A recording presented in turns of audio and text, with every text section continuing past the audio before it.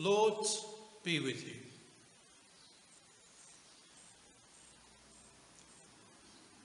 Almighty God, you show to those who are in error the light of your truth, that they may return to the way of righteousness. Grant to all those who are admitted into the fellowship of Christ's religion that they may reject those things that are contrary to their profession and follow all such things as are agreeable to the same. Through Christ our Lord, now and forever. Amen.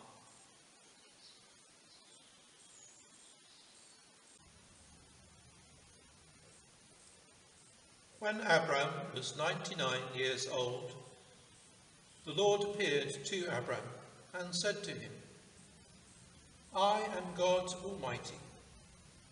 Walk before me and be blameless, and I will make my covenant between me and you, and will make you exceedingly numerous. Then Abram fell on his face, and God said to him, As for me, this is my covenant with you. You shall be the ancestor of a multitude of nations. No longer shall your name be Abram, but your name shall be Abraham. For I have made you the ancestor of a multitude of nations. I will make you exceedingly fruitful, and I will make nations of you, and kings shall come from you. I will establish my covenant between me and you, and your offspring after you, throughout their generations, for an everlasting covenant, to be God to you and to your offspring after you. And God said to Abraham, As for Sarai, your wife, you shall not call her Sarai, but Sarah shall be her name. I will bless her, and moreover, I will give you a son by her. I will bless her, and she shall give rise to nations. Kings of peoples shall come from her.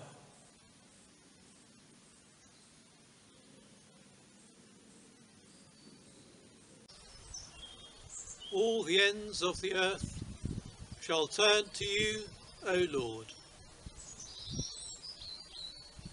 Praise the Lord, you that fear him. Stand in awe of him, O offspring of Israel. All you of Jacob's line give glory, for he does not despise nor abhor the poor in their poverty. Neither does he hide his face from them. But when they cry to him, he hears them. All the ends of the earth shall turn to you, O Lord. My praise is of him in the great assembly. I will perform my vows in the presence of those who worship him. The poor shall eat and be satisfied.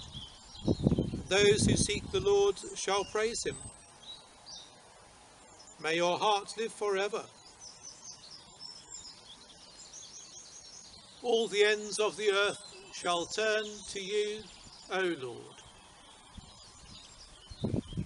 All the ends of the earth shall remember and turn to the Lord, and all the families of the nations shall bow before him. For kingship belongs to the Lord, he rules over the nations. All the ends of the earth shall turn to you, O Lord. To him alone, all who sleep in the earth bow down in worship. All who go down to the dust fall before him. My soul shall live for him. My descendants shall serve him. They shall be known as the Lord's forever. They shall come and make known to a people yet unborn the saving deeds that he has done.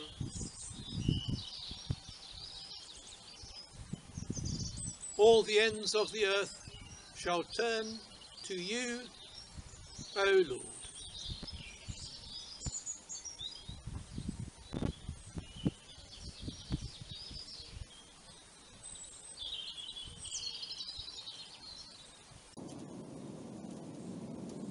Jesus began to teach his disciples that the Son of Man must undergo great suffering and be rejected by the elders, the chief priests, and the scribes, and be killed, and after three days rise again. He said all this quite openly. And Peter took him aside and began to rebuke him. But turning looking at his disciples, he rebuked Peter and said, Get behind me, Satan, for you are setting your mind not on divine things, but on human things. He called the crowd with his disciples and said to them, If any want to become my followers, let them deny themselves and take up their cross and follow me. For those who want to save their life will lose it, and those who lose their life for my sake and for the sake of the gospel will save it. For what will it profit them to gain the whole world and forfeit their life? Indeed, what can they give in return for their life? Those who are ashamed of me and of my words in this adulterous and sinful generation, of them the Son of Man will also be ashamed when he comes in the glory of his Father with the holy angels.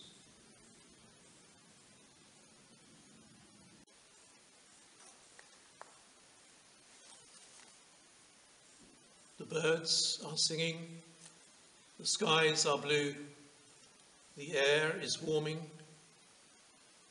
the snow has passed, the flowers are coming up. There is a hope and promise in the air.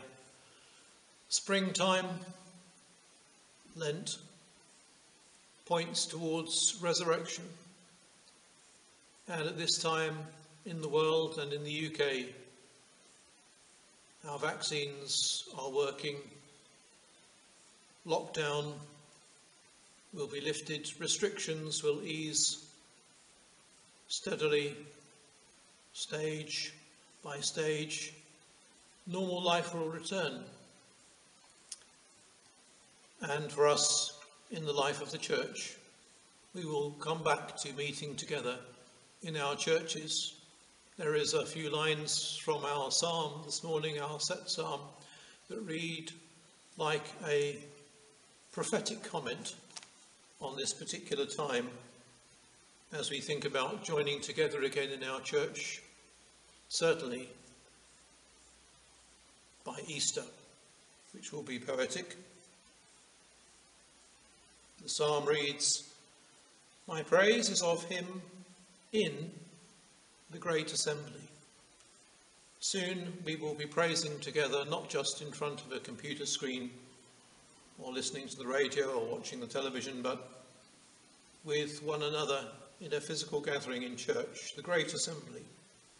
I will perform my vows, I as a priest and we together as a congregation will recite our familiar words of liturgy together in the presence of those who worship him. The poor shall eat and be satisfied.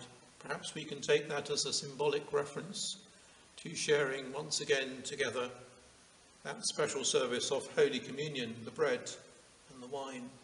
Those who seek the Lord shall praise him and shall praise him together and in the fullness of time once again, we will do that thing which is special in the Christian tradition. We will sing together our joyful hymns of praise that come from the heart and inspire us and make us feel good and together and bonded in our fellowship and peaceful in our hearts.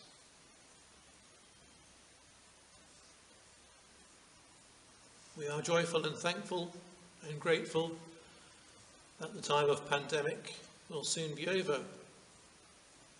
But at the same time, we must not lose sight of sobering lessons and profound issues to be addressed and learned, a new way of looking at life, a new appreciation of life's value, perhaps in a similar way that after two world wars in the 20th century, there was a greater than ever emphasis on what we call the peace movement and a striving to find friendship and common ground with one another across international and cultural boundaries.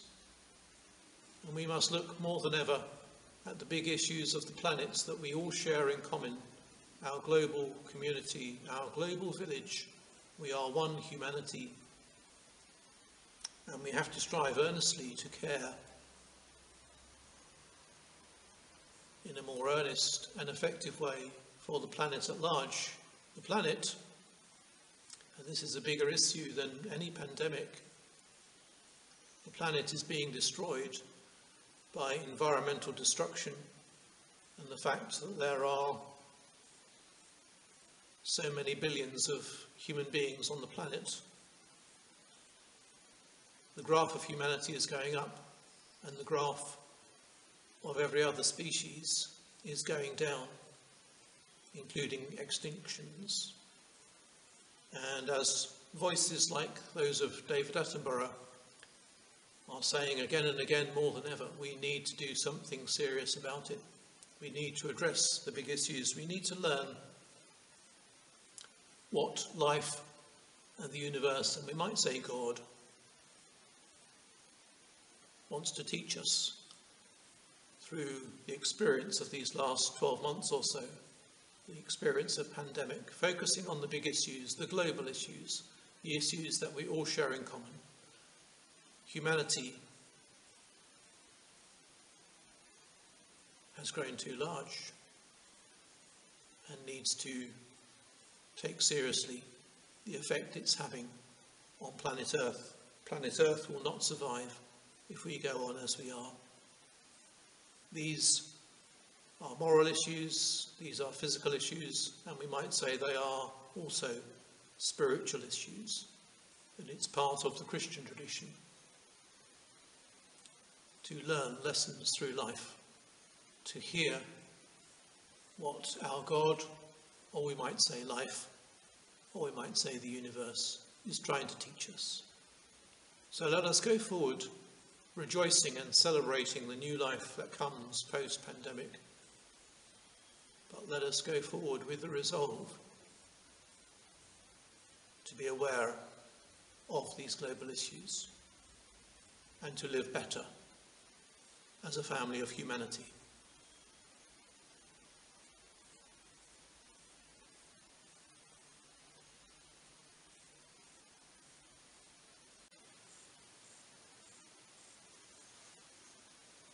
Almighty God, you see that we have no power of ourselves to help ourselves.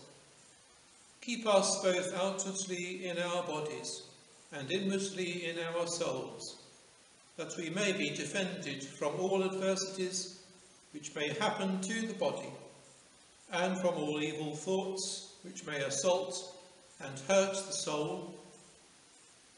And the blessing of God Almighty, the Father, the Son, and the Holy Spirit be with each of us and our loved ones near and far, and the whole family of humanity now at this time and forevermore.